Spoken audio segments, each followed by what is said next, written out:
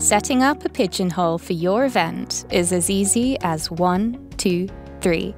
Start by creating a new pigeonhole. You will be prompted to key in your event information. The name of the pigeonhole will be displayed to your audience on the Audience web app.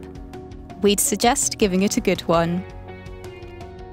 Your event passcode is what your audience will use to log in to your pigeonhole. You can make one related to your event, go wild with something quirky, or just click here to generate one at random. Passcodes are subject to availability on a first come, first served basis, so be creative and move fast. For your start and end date, we'd suggest setting this as the time you will be using Pigeonhole Live for your event.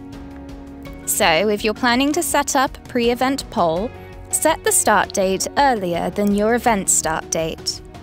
Once you're done with the event information, you've already completed step one. Now it's time for step two setting up your agenda. Go to the Agenda tab and add in your sessions like Q&As, polls, or surveys. We'd suggest also making use of our non interactive sessions to mark out keynote speeches, lunch breaks, and networking sessions to really flesh out your agenda. Remember to click Save after creating each session.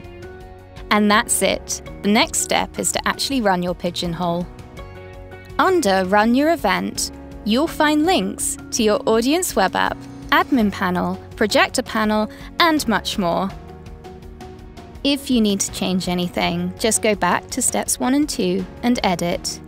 This has been an instructional video from the folks at Pigeonhole Live. Happy discussions and we'll see you soon.